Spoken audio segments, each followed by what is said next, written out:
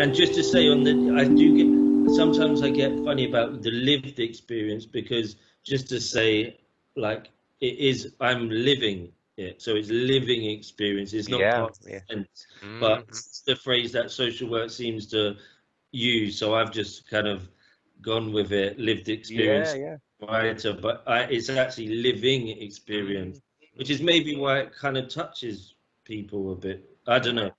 Yeah, that's true. Um, and that's a really important distinction that you highlight there, Dominic. Something I've not thought about, to be honest. But you're right, there is a distinction between lived and living. Living. Um, obviously, living is far more immediate as well for people. So, you know, you know, every day's a school day, isn't it? Um,